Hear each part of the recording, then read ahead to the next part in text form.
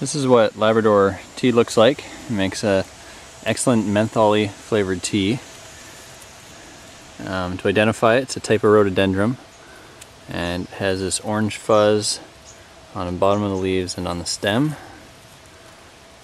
So you just look for that.